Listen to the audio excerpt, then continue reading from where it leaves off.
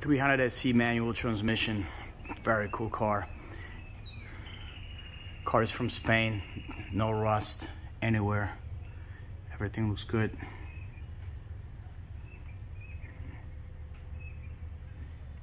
All original.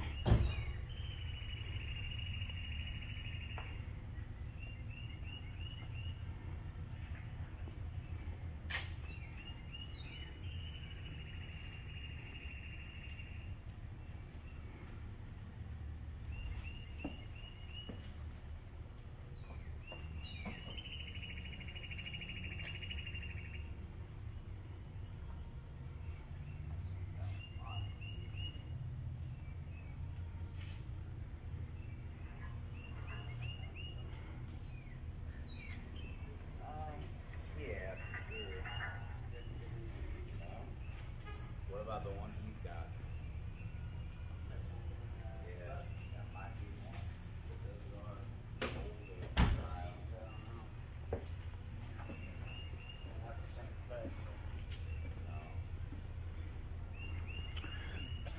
It's got uh, self-leveling suspension components here.